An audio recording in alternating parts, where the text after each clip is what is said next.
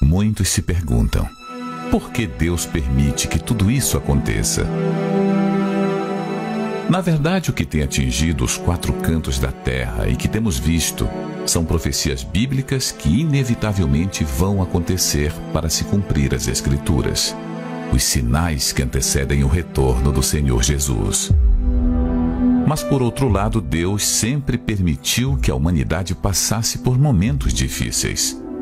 Mas a pergunta é: por quê? Observe que quando tudo vai bem, quando o vento está a favor, o ser humano tende a se relaxar, confiar na sua própria força e muitos passam a se achar autossuficientes, se esquecendo de Deus e até zombando dele. Mas são em momentos como esse que vemos o quanto não somos nada. Um inimigo invisível que não respeita classe social, cor ou posição surge e leva a vida de milhares de repente. Onde estão os poderosos nesse momento? Nem todo o seu dinheiro e poder são suficientes para frear o avanço desse vírus. E é aí que observamos a fragilidade e insignificância do ser humano, que só assim para para refletir e se prostrar diante do único Deus.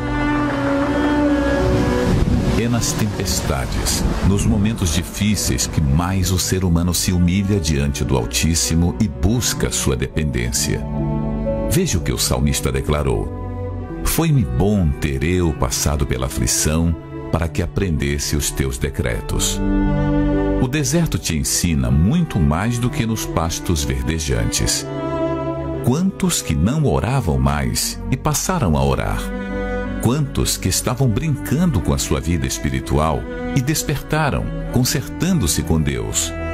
Quantos que estavam afastados e retornaram nesse período? Deus às vezes não muda a situação, mas usa a situação para mudar você. Ele também usa esse momento para que a fé dos que o servem seja testada. Muitos nesse período descobriram que passaram a vida inteira construindo sua casa na areia. E agora que mais precisam da fé sobrenatural, estão prostrados. Mas uma coisa é certa: aqueles que estão com a sua vida construída sobre a rocha passarão pela tormenta inabaláveis. A tempestade vem para todos, porém só permanece de pé quem ouve e pratica a palavra.